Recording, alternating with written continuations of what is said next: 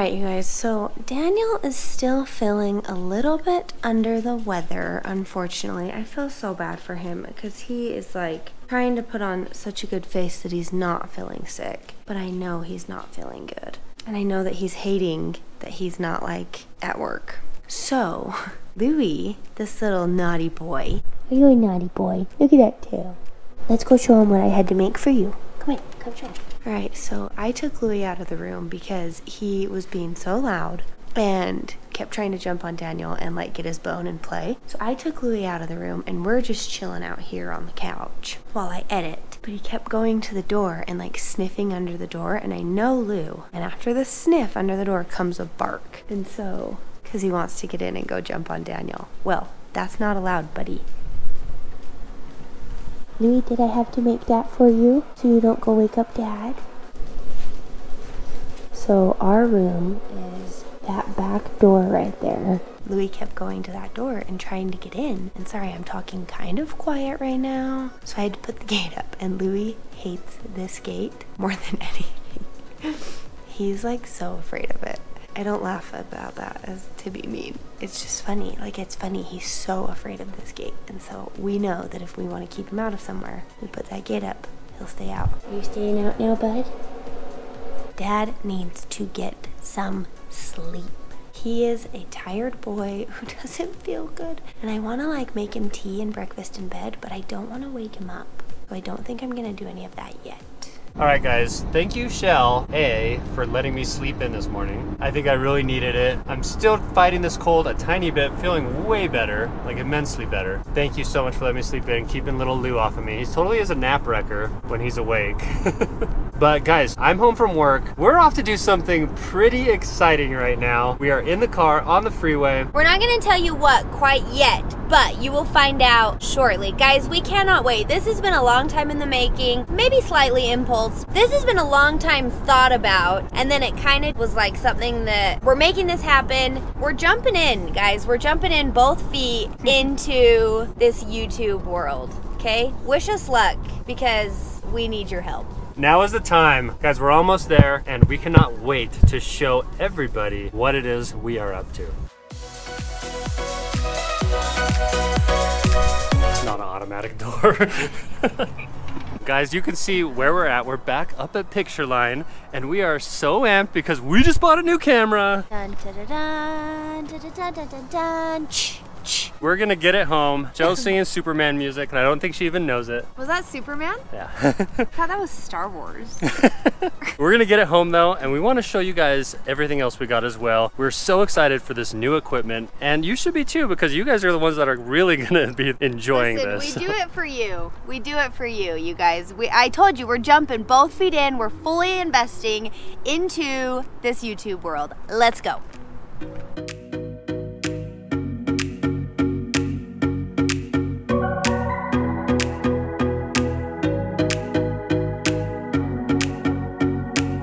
All right guys, we're getting to the point of the day where we actually show you what we have purchased, but we're having a bit of a crisis here. Our ice machine is not producing any ice. So it's hard to see back there. The whole thing's frozen up. Guys, I love Samsung a lot. They make excellent products, but their ice machines and these new refrigerators just suck. Awful. I'm sorry, Samsung. I really do love you. And our washer and dryer are Samsung. Our fridge is Samsung. And we have loved it minus the ice machine. It's not very good. We kind of want to get an external ice machine, like something that we would put over next to our sink I don't know. Do any of you have any of those? Let us know what you think of those. Are those better than these in the fridge? Yeah, obviously we're big on ice. Chelle was really hoping to get a Diet Coke on ice right now, but Oh, I just dropped a cube. There was a pebble. There was a pebble. just fell. Wait, I got it.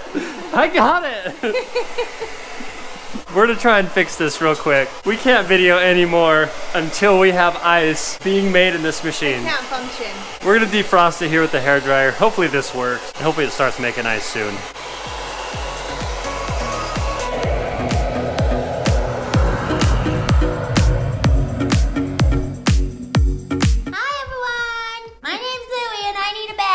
Guys, we did not get our ice. We do not have drinks yet, but we're gonna do this video anyways for you guys, and then we'll go get ice somewhere else because our home does not have ice. Guys, we are super stoked on the Canon Oh, EOS R. Gentle, babe. Sorry, sorry. So this is Canon's mirrorless camera, and we are super excited to have this and start using this to make our videos as well as do photography. You guys know that we travel with our video setup, and then we also travel with my big ol' Canon 5D Mark III. One, two, three. That camera is not made for video. We'll just leave it there. Yeah, it's just not a great camera for video, but for photography, ooh, I love it. Long story short, woo, tangent there. We had so much gear that we were constantly, constantly traveling with. So many different charging portals that we needed just for all of our gear alone. So we decided to combine everything into one doop, doop, camera. One camera. So that's why we went with this beauty that you see before you. It does such incredible video. The photos are so beautiful as well. So when we travel, this will be our full-time videoing camera. We will still have our GoPros for like water and every like adventurous fun type thing like that. But this little beauty that you see before you will be our full-time videography camera. We will also use it when we travel for photography. So we will now be putting this one on our tripod and taking photos with this camera for our Instagram that you guys see on our Instagram pages and all of our travel photography that you guys see in these videos will be done now on this camera. We wanted to combine everything to one camera. We just condensed everything down. We only have one thing to travel with now. I will still be shooting weddings with my Mark III, but I will also be bringing this camera as a backup camera. You never know, you might convert But yeah, 100% to true. I've heard a lot of people have. That is true. I might move over to mirrorless completely. And this is so lightweight. It is so small. Louis wants to go outside. Okay. One thing I want to say kind of up front here is there are a lot of good cameras out there. Sony makes some amazing cameras. Nikon makes some amazing cameras. There's a lot of great cameras out there. Canon makes some amazing cameras. And so when we were looking for a new camera, we had a lot of kind of criteria that we wanted to fill. This one came closest to what we wanted or what we do. Mm-hmm. There's Sony cameras out there that do better video. There's other cameras out there that might take better still photos. But this one for us came closest to fulfilling all of our needs. One of the main needs was this has to be good at video. And this does 1080p 60 frames per second, which is going to be perfect because I honestly mainly film in 1080p. This does do 4K, but I kind of I'm probably going to do a lot of 1080p. Autofocus was a must. Like Chelle said, the Canon Mark III, not a good autofocus. This is one of the best autofocusing cameras in the industry right now. It's super fast, super accurate. For video and photo, which is like mm-hmm. so amazing. This has face tracking and an eye tracking. Like it will literally track our eye. That's a monster lens, you guys. We just had a baby camera that we put a monster lens on, but look at that beauty! So autofocus was another huge one for us. The third thing was this had to take exceptional photos because she's a photographer. We're gonna be doing a lot of photography on our trip, so this had to do good photography. And this camera actually has the same sensor actually as the 5D Mark IV, which is an even better camera than the Chelle one currently has. And then probably the biggest selling point for us on this camera, since we do videos of ourselves a lot, was this. Boom, baby. You now can see what you're videoing from the screen right here. The Sonys do not do this. A lot of cameras do not have a screen that fully articulates and faces forward so you can look at it and see exactly what you're videoing. And what's even cooler is this is a touchscreen. So you can just touch the screen, focus on what you want to focus on, move from her face to something in the background. That was another thing that the Sony did not have was it was a touch screen some of the time, but it wasn't a full functioning touch screen and this one is a complete full functioning touch screen which we honestly cannot wait for. It will make a world of difference. Dun, dun, dun,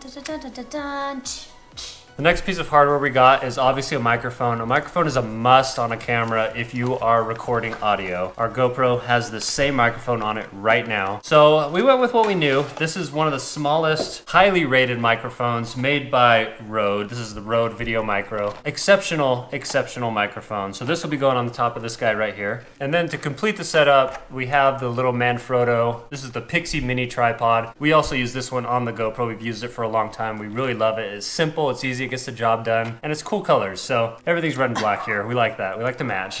So we just swapped out the little 35 millimeter lens and look at how cute and little this thing is. I mean, look at this lens cap. Just it's like- so baby. I mean, look at that compared to this. Look how cute. I just love it. So the 35 millimeter lens, this lens here, this is what they call a prime lens. In other words, there is no zoom feature to this. It's 35 millimeters, that's it. Whereas this one is 24 to 70. 24 to 105. Oh my gosh, I correct myself. Monster Sorry. Zoom. So guys, we're super excited about this. We cannot wait for tomorrow. We're actually gonna get outside, go break this thing in, take some photos, take some video, and then we'll share them with you. Probably gonna be a little bit of a learning curve here, so bear with us. I'm gonna have to figure out how to video with this thing. Chelle's gonna have to learn how to take photos with it. I'm sure that'll be a quick transition since this is also Canon. Yeah, I was gonna say, luckily the menu and everything is the same. Here's a comparison. Old setup, new setup. The old setup, we're using a GoPro Hero 7 inside of this awesome case that gives us a lot of capability to mount things. So we mounted our microphone to it. I even have an adapter here to mount a light to it. This is an adapter so that we can use the Rode Video Micro